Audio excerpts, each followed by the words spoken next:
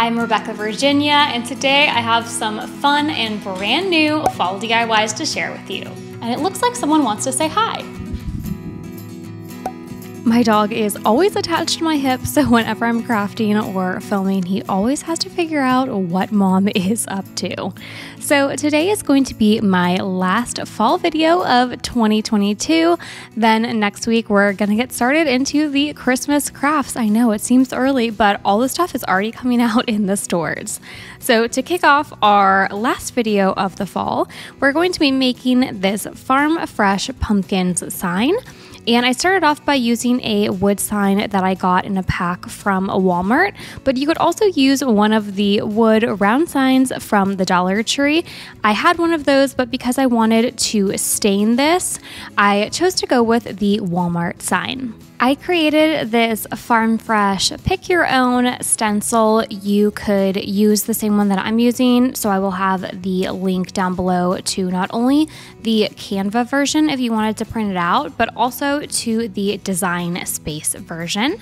And for the pumpkins that are going in the center, I just used some wood letters. You could pick them up from Walmart. I know Dollar Tree even has them, Hobby Lobby, wherever you get your wood supplies. And I liked the wood finish, but to make it really pop against the board, I decided to paint them all white.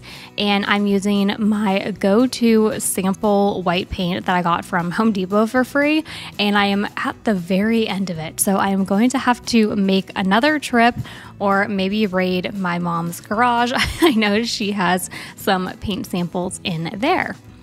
Lastly, I am just grabbing my hot glue gun and hot gluing down all of the wood letters to the center of our sign. If you're planning on just leaning this sign against maybe a wall or something in your home decor, then you don't need to add on the tag, but I did actually end up hanging this on my front door. So I took some of my thicker jute, not quite nautical rope, but a little bit thicker than jute, and added a loop onto the back so that I could easily hang my sign. Next up is a sweater pumpkin, but I actually did not use any fabric in this. This is a completely jute or twine craft. I did a couple of sweater pumpkins last year. I'll have them linked above in the upper right hand corner, but I hadn't done any this year and I felt like I needed to, so I kind of made a faux sweater pumpkin using the jute. So I'm taking one of these wire tinsel covered pumpkins from the Dollar Tree. And of course, being me, I'm saving that tinsel because you never know when you can use it again. And underneath, you have this really nice plastic base or plastic form of a pumpkin. Next, I am just taking my jute and going all the way around the pumpkin. This is really easy, but it does take a good chunk of time, so definitely put on your favorite YouTuber, maybe another Rebecca Virginia DIY video, and cover your pumpkin form in all of this jute. Then, once it is all covered, we are going to create some braids. So, for this, I am creating, I did nine pieces of jute and tied them together at the top. And then I'm going to braid three, three, and three so, just like you would do a normal braid, but instead of just taking one strand, you are going to have three. This is just going to create that thicker braid for us to use. I believe I ended up using three or four of these and I just braided them all the way down and then using some hot glue, I am attaching this to our jute pumpkin. I think the braid really gives it that sweater effect and kind of makes it look more like it's fabric than just some twine. To finish off the top area of the stem of our pumpkin, I did take a little bit of a different colored twine and it's a little bit thicker, more between like a nautical rope and a jute. And I am wrapping that around the top of our pumpkin. And I also wanted to make a bow, so I created that using the same material and hot glued that to the base of the pumpkin stem. Lastly, I took a couple of leaves. I couldn't decide if I wanted to have some bright orange or red as a good contrasting color, but I was really feeling the neutrals with this DIY, so I picked a darker green and brown leaf to just stick underneath of our bow.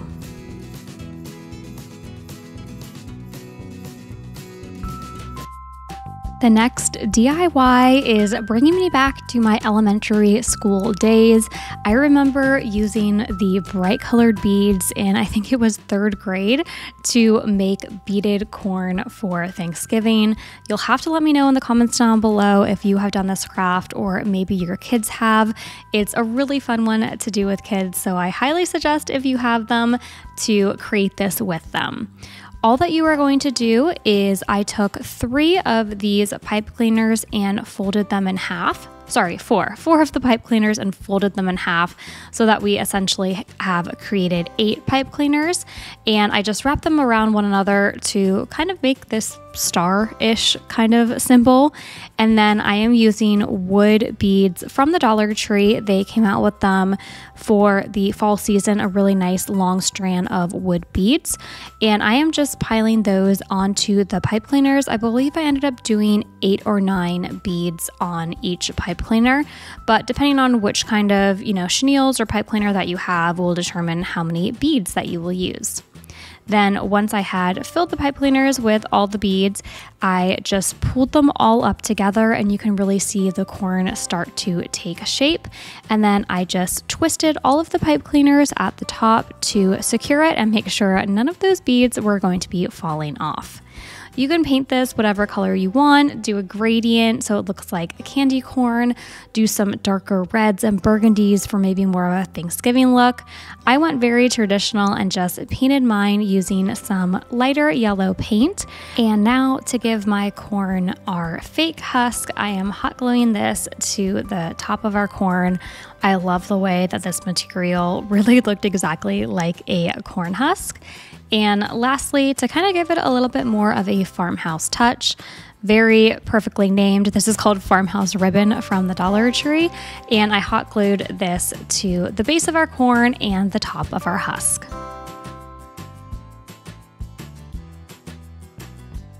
This next DIY is super easy and really just a way for me to show you how you can upgrade a dollar item by just adding a small touch. So for this, I got this pot holder from the dollar section of Target and I loved this pattern that I had created. Again, that is going to be linked down below in the description box if you want to use it. I used it on the wood round, which was the first DIY in this video, and I wanted to use it again, especially to be displayed in my kitchen. So I used some heat transfer vinyl to adhere this down onto our pot holder, and I love that for only a dollar and some vinyl I already had, I could create a cute fall decor piece. So I know that I said this was a fall video, not a Halloween video, but I was obsessed with this little outdoor ghost piece that I made and I just had to share it with all of you.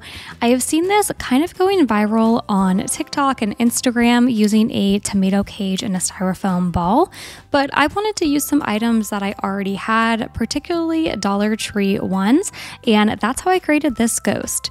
So I picked up this almost Christmas tree looking design from the Dollar Tree.